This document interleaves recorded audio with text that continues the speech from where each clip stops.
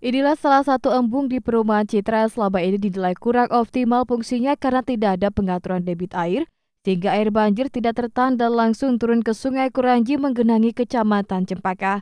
Namun, kini embung itu bersama dua embung lainnya di Cempaka dan Sidodadi sudah dikeringkan sebelum musim hujan seiring perintah Wali Kota Banjarbaru Aditya Mufti Arifin agar fungsi embung-embung dioptimalkan untuk mengurangi debit banjir. Di samping itu, Dinas PUPR juga sudah melakukan evaluasi terhadap penyebab banjir dan yang mengakibatkan hambatan laju air untuk segera ditangani seperti menormalisasi aliran sungai Kemuning. Di samping itu, menurut Kabit Sumber Daya Air Dinas PUPR, pembangunan embung di Gunung Kupang seluas 3 hektar segera dibangun dengan kemampuan mereduksi air banjir sekitar 25 persen. Eh, pasca banjir yang terjadi di terutama di daerah Sungai Kemuning kami sudah me, apa, mengidentifikasi di beberapa titik terutama pada saat kejadian di uh, jalan jam-jam Jailani dan di gang keluarga itu terjadi uh, banjir yang cukup tinggi. Jadi tahun ini kita sudah ada upaya untuk mengurangi dampak banjir dengan cara uh, kegiatan membangun rumah pompa air di perumahan yang terdampak.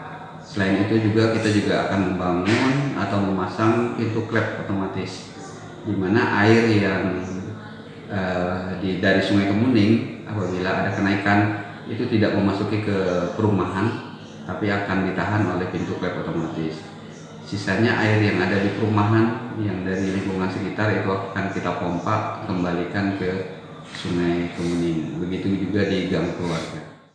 Sementara itu salah satu anggota DPRD Banjarbaru dari PDI Perjuangan, Ronauli Saragi menilai selama ini tiga embung milik Pemko Banjarbaru tidak berfungsi karena tidak ada pengendalian isi air untuk menampung air hujan dan berharap dikelola dengan baik. Eh, dengan adanya curah hujan yang sangat tinggi pada saat ini, eh, sehingga banyak mengakibatkan daerah-daerah tentu di Banjarbaru ini mengalami banjir. Nah tentunya kita mengharapkan ini juga semua elemen masyarakat yang ada di Banjarbaru agar bisa menjaga uh, atau membersihkan saluran drainase di daerah masing-masing.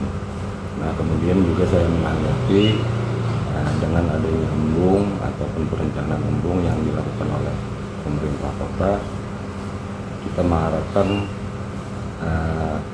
ini direncanakan dengan sebaik-baiknya. Jadi baik elevasinya kemudian volumenya yang bisa menampung uh, debit air pada saat curah hujan tinggi. Nah kemudian juga pemeliharaan terhadap embung itu sendiri sehingga bisa berfungsi secara maksimal Persoalan pengelolaan air di tiga embung tidak dibantah Dinas PUPR karena selama ini tidak ada petugas khusus untuk menjaga pintu yang melakukan pengeringan embung ataupun penutupan pintu air di saat hujan. Taresi Tompu Duta TV, Banjarbaru.